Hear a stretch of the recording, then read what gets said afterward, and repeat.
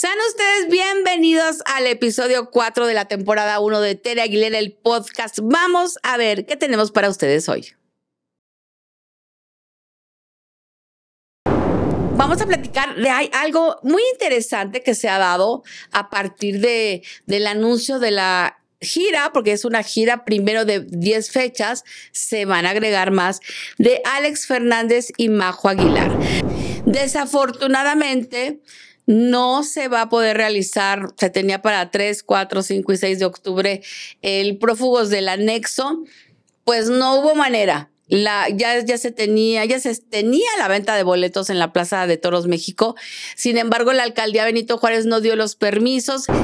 Curiosamente, el 12 de, de, octubre se va a presentar Fuerza Régida ahí en la Plaza de Toros México. Fuerza Régida para la gente que lo desconoce, cantan cosas muy gruesas, ¿eh? muy gruesas. Lo que sí es seguro es que de aquí a diciembre tenemos muy, muy buenos espectáculos del regional mexicano. Yo entiendo que, pues José Alfredo es como es dominio público. Totalmente. Pero para ella eh, él era su padre. Claro. Entonces, eh, para mí es muy lindo que, ella como hija, como familiar, eh, exprese, se exprese tan lindo ¿no? de, este proyecto y se lo agradezco muchísimo que se haya tomado el tiempo de, darme unas palabras, ¿sabes? Y, y de poder ponerlas en la presentación.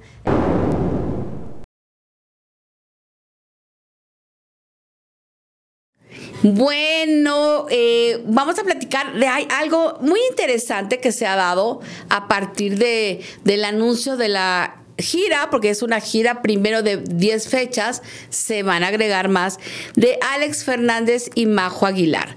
La verdad es que esto es bien interesante porque esto habla de que la tercera generación de ambas familias, tanto los Fernández como los Aguilar, están ya quitándose de, telarañas en la cabeza y de que si tú eres más que yo, de los egos. Eh, jamás, jamás hubiéramos pensado en ver esto con Vicente Fernández y don Antonio Aguilar. Evidentemente, jamás tampoco hubiéramos imaginado ver a Alejandro Fernández al potrillo con Pepe Aguilar juntos. Tampoco.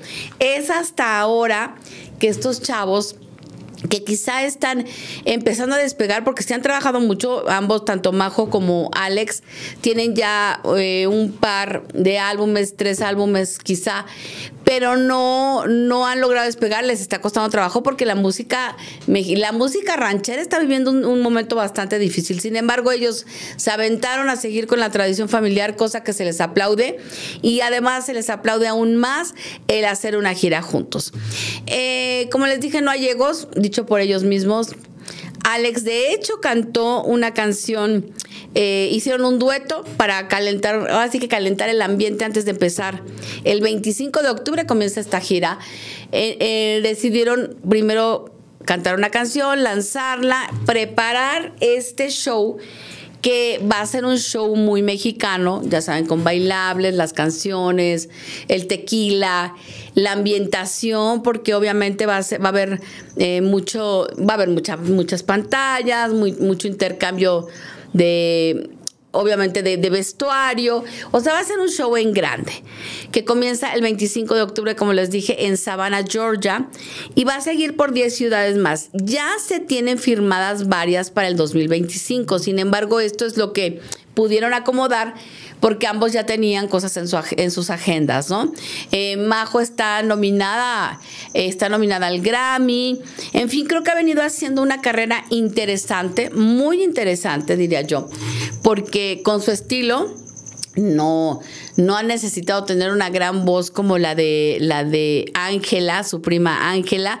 Cada quien tiene su ondita, ella tiene su ondita también. Ella se ha ido más por las cosas como Ah, digamos que orgánicas y poniéndole alguna cosita ahí por ahí eh, rara. Hay que recordar que ella tiene como pareja el vocalista de Kinky, así que pues tiene otras ideas, ¿no? Y creo que ha, venido a aportar cosas muy interesantes a su carrera. Este niño que dirige también sus videos y creo que ahí va, ahí va muy bien Majo, la gente la quiere mucho es muy diferente la vida de Majo a la de Ángela Aguilar al lado de Nodal, por supuesto, porque esa es una, una pareja mediática. Aquí no, aquí todo es tranquilo, a sus tiempos, a su ritmo, y creo que eso le está funcionando muy bien. Y la gente le está aceptando muy bien, cosa que es muy importante. Eh, en el caso de Alex Fernández, Alex pues también él ha tenido una carrera lenta, pero creo que segura. Hay que recordar que quien lo llevó a la disquera donde hoy está firmado Alex fue su abuelo Vicente. Su papá no era muy del agrado de su papá como que se volviera artista. No sabemos si por ego, por miedo.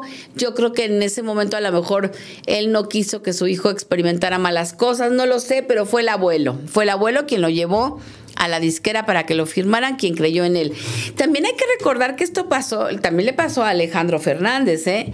en la época en la que eh, recordamos que su papá lo presentó en algunos programas de televisión, sí, y dijo, a ver, mi hijo y lo que ustedes quieran, pero ya cuando vio que el hijo tenía, tenía con qué, pues ya como que dijo, no sé, puede ser alguna competencia porque ustedes sí es padre hijo, sí, pero ya como artista pues representaba una competencia el hijo. Entonces, pudiera ser que por eso Vicente no apoyó muchas cosas, pero a final de cuentas, pues Alejandro hizo su carrera, la hizo solo y hoy en día, pues sí, no hay, no hay ninguna duda que es uno de los grandes, grandes de la música ranchera en México.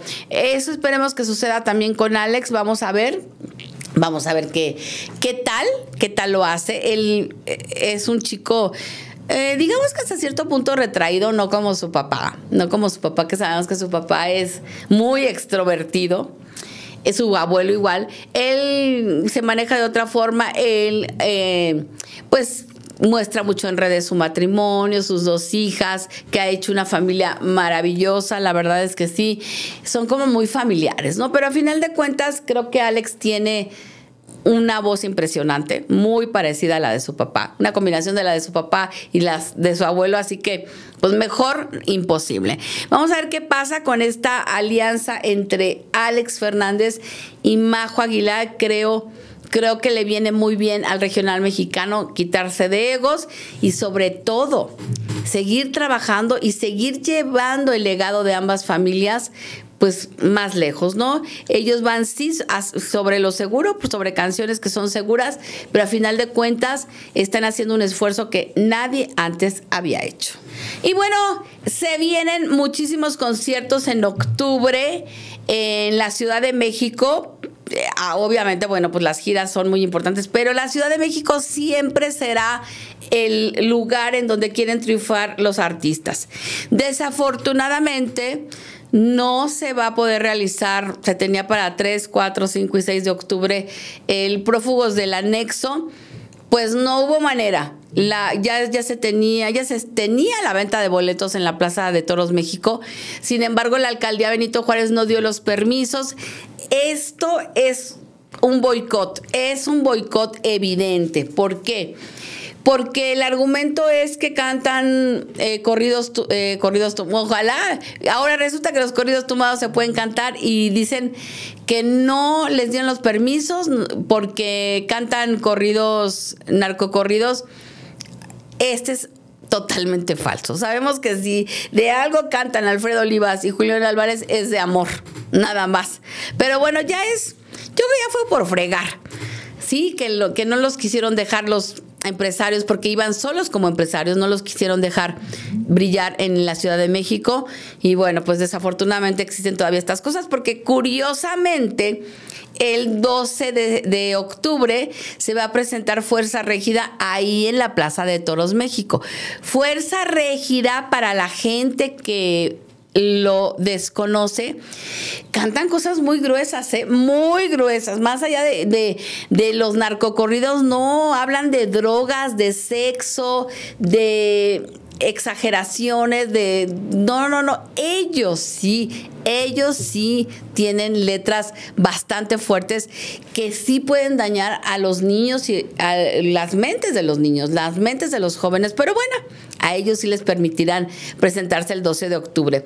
Manda el recodo, el 18 de octubre va a la Arena Ciudad de México. Eh, se van a presentar.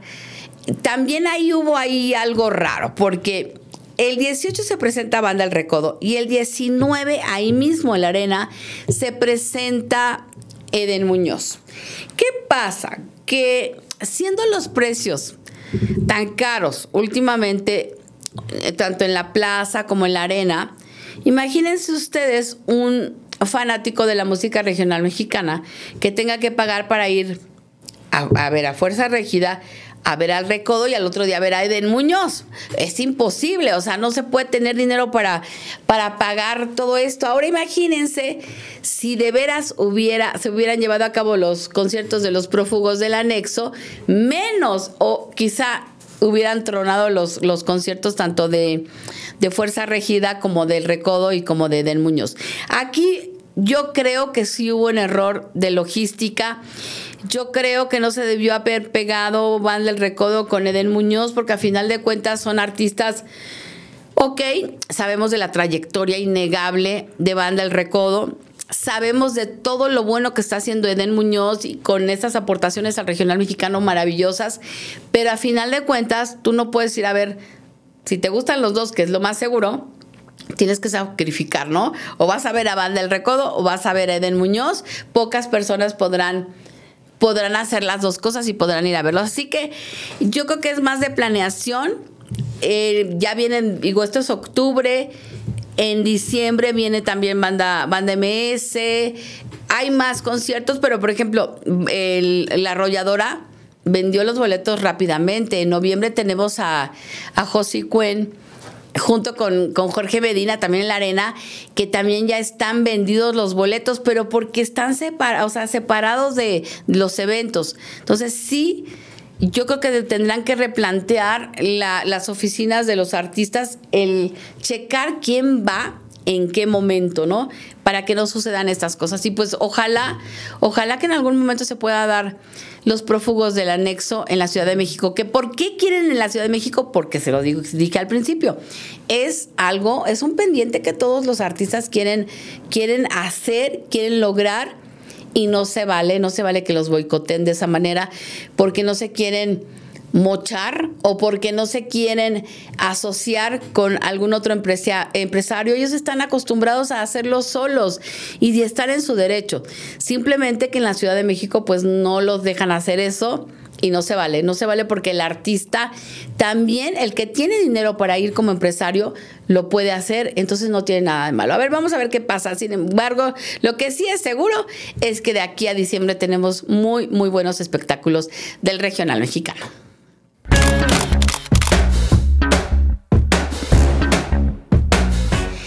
Momento de una conversación maravillosa con Natalia Jiménez, quien está por estrenar este 10 de octubre su álbum de Jiménez a Jiménez, con siete canciones, siete canciones que escogió. Ahora se usa eso, ¿no? El EP. Este ya es un álbum porque tiene siete canciones y pasa de seis ya es álbum. Son siete canciones de José Alfredo Jiménez. Empezó a lanzarlas desde septiembre eh, también sale el Focus Track, que es el sencillo importante, que en este caso es Si nos dejan, que también saldrá el 10 de octubre. Pero bueno, vamos a dejar que ella nos platique todos los detalles de este maravillosa, esta maravillosa producción. Natalia Jiménez es imposible. Bueno, primero, gracias por el espacio, gracias por esa, esa noche que nos regalaste esas interpretaciones tan maravillosas. Ve qué bonito. Eh, sí, lo ves y, qué, sientes. Pues mucho orgullo, siento mucho orgullo, mucho agradecimiento, eh, sobre todo después de, la noche de la presentación, porque pues siento que, la gente quedó prendida del disco, prendida de lo que viene. Eh, se quedaron con, ganas de más. al final no me dejaban ir.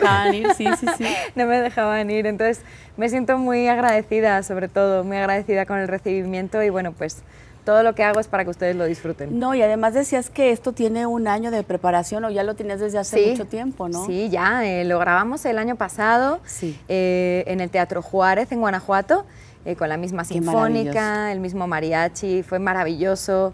Estuvimos dos días de grabación y pues la edición y ya sabes, el máster, el papeleo, el timing. Ya sé. Estuvo cañón, entonces así yo estaba loca porque saliera el disco y al fin ya, ya está casi fuera. Esto es como llegar a una meta después de tan, tanto que tienes con México, tanto vivir en México, que tienes años viviendo en México. Digamos que es la culminación de una relación con México. Es la, es la continuación. La continuación. Exactamente, o sea, ya culminaré cuando me muera. Exacto. Todavía no. Exacto, o sea, para mí es como la continuación. ¿eh? Al fin y al cabo, yo siento un amor muy grande por vuestra música. Eh, me siento muy identificada, eh, siento que es lo que vine a hacer al mundo, siento como esa misión, ¿sabes? Como de esto es lo que yo vine a hacer y ya no le muevan. me siento muy cómoda cantando música regional mexicana ya desde hace ya muchos años. Sí. Eh, y, pues este es uno de los proyectos más ambiciosos que he tenido, eh, porque al final pues son de las canciones más emblemáticas. Emblemáticas, ¿no? Son, son canciones que pues todo el mundo ha llorado con ellas, todo el mundo ha tomado con ellas. Emborrachado. Todo, ajá, todo el mundo sufrió con ellas. Totalmente. Entonces, eh, pues venir yo a darle un nuevo aire es llenar unos zapatos muy grandes pero siento que, mm, siento que la gente se quedó encantada, la verdad. Que, eso es al final de cuentas lo, importante, ¿no? Porque sí es una gran responsabilidad. Sí. Sí es que si te comparen con Rocío Durca, o sea, son muchas cosas pero que yo tienes que enfrentar. Ay, no, pero yo estoy feliz, ¿eh? O sea, a mí, mira, mientras las comparaciones sean buenas, yo encantada de la vida. Cuando te dicen, oye, es que me recuerdas a Rocío Durcal, pues qué maravilla. Claro. Qué maravilla. claro, qué maravilla. O cuando te dicen así, ah, no, pues con ese sombrero me recuerdas a María Félix. Qué maravilla. Claro. me encanta. ese outfit es totalmente, totalmente, María, Félix. Claro, o sea, mientras las comparaciones sean buenas, siempre son bien recibidas y para mí pues es un halago. O sea, es un halago cuando me dicen eres la española más mexicana después de Rocío. Eh, para mí es lo, lo, más bonito que me pueden decir, vaya. Y además tú ya conoces México de pe a pa, has Yo creo que mucho más que muchos mexicanos, Sí, sí, ya, me lo conozco completito, completito, de arriba abajo. Todos los estados los he pisado, todos los aeropuertos. Todos, todos, ¿no? Y has, has estado en un lugar y en otro. ¿Piensas en algún momento, no sé, grabar quizá con banda sinaloense, por ejemplo? Pues me gustaría mucho. Que ya grabaste con banda MS. con banda MS, ajá, sí. Sí, pero ya grabar algo, Sí, claro que sí. Mira, tiene que ser la canción adecuada, con la banda adecuada, ¿sabes? Eh, a mí me gustan eh, las cosas formales, bien hechas, este eh, no me gustan las cosas así como... En música no me gustan las cosas como groseras y así. Claro. Entonces a mí la canción correcta, con la banda correcta, yo encantada de la vida. Dices, para grosera yo, no las canciones. Exactamente. y cuando quiero. Y cuando, y cuando, quiero. Que, también es, digo, eso es una manera de... Ahora el mariachi sí, pero ahora también puedes hacer norteñas incluso. Sí, sí, o sea, yo la verdad que a mí la, la música mexicana me encanta.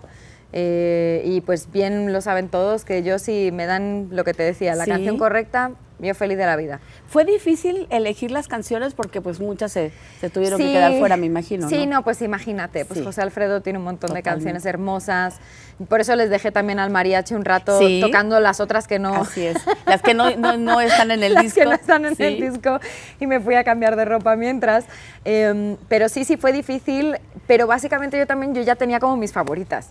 Eso te iba a decir, alguna que digas, híjole, es que con esa me puso la Yo, así, Caminos de Guanajuato. ¿Verdad? Es que Caminos aunque de Guanajuato. Aunque no sea uno de Guanajuato. Aunque una, exactamente. Todo el mundo me lo dice así, aunque no sea de Guanajuato, esa es mi canción. Así, cuando la ponen, en cuanto arranca el ta ta, ta, ta, ta, aquí. Se va todo al garete, sí. sí. Digo que te equivocaste de donde naciste.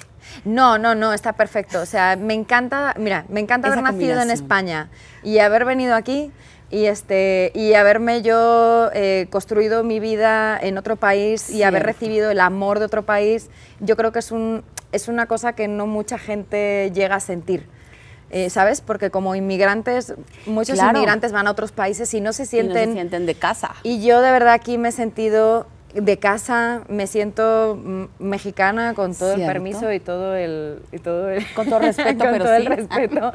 me siento de aquí, ustedes me han hecho sentir de aquí, ustedes me han hecho eh, sentir en casa y eso no lo vive mucha gente. Entonces fui muy afortunada de nacer allá, venir aquí y de hacer mi casa aquí. Así es. Pero una que dijiste, bueno, Caminos de Guanajuato, ¿y en, con alguna te has emborrachado? Hombre, pues este, claro, es un, pues la de un mundo raro, esas. ¿Verdad? Ay, esa es horrible. horrible, es, tremenda. Ay, esa es horrible. Oye, qué maravilloso que, Paloma, que Paloma Jiménez te mandara un mensaje. Sí. Hubiera estado sensacional que hubiera estado ya aquí, pero, sí, estaba pero esa, es la, esa es la aprobación de la familia y eso también es bien importante. Sí, no, no, yo tener la aprobación de ella y que sobre todo que, que haya estado pendiente al proyecto, que se haya enterado, que haya dado su pues eh, su bendición, ¿no? Sí. Eh, porque al final yo entiendo que, pues José Alfredo es como es dominio público. Totalmente. Pero para ella eh, él era su padre. Claro. Entonces, para mí es muy lindo que, ella como hija, como familiar, exprese, se exprese tan lindo ¿no? de, este proyecto y se lo agradezco muchísimo que se haya tomado el tiempo de, darme unas palabras, ¿sabes? Y, de poder ponerlas en la presentación. Ella estaba malita, por eso no pudo venir. Estaba malita de la garganta, creo que tenía una laringitis o algo así. Este, pero nada, les deseo que se recupere muy pronto y le agradezco mucho por sus palabras. ¿Cuándo tendremos el álbum completo? Pues este, a ver, yo creo que sale como en octubre, ¿verdad? ¿Sí? Octubre. Es que, ajá, yo, yo como tengo, eh, tengo eh, déficit de atención, yo no, me acuerdo de las fechas. Pero, sí, imagínate. Eh, por ahí, octubre, 10 de octubre, 10 de octubre sale. 10 de, octubre. Pero irán, saliendo, irán saliendo ya los sencillos. ya ayer anunciaste el segundo, sí, Este, sí, va a estar saliendo también Deja que salga la luna, que es una canción preciosa. Es que todas son preciosas. Preciosa, preciosa, preciosa canción. Este, iba a estar saliendo, pues yo creo que como el 19 de septiembre. Joder, me acordé de esa. Muy bien. Coño. Bravo, bravo, bravo, bravo. Un, y si nos, dejan, el 10 de octubre. Que yo creo que ese es un, clásico, ¿no? Es bueno, es, que un clásico. Sí, o sea, yo, yo, sé que si nos dejan es, es una de las canciones más grabadas de Alfredo, pero es que cómo no.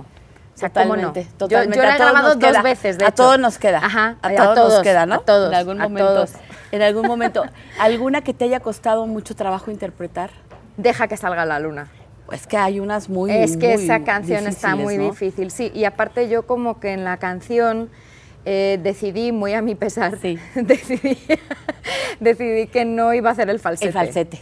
Entonces me voy directa en voz abierta. ayer, así el na, na, na, na, ¿sabes? abierto y pues el nivel de dificultad aumenta notablemente. Totalmente, sí, claro, porque digo, esas son así como, como difíciles, ¿no? Sí, es muy difícil esa canción. Pues muchas gracias por tu tiempo, muchas gracias por tu música y muchas gracias por tu voz. No, por favor, ¿eh? gracias a ti por el espacio y por eh, dar la atención a mi proyecto. Gracias. Gracias.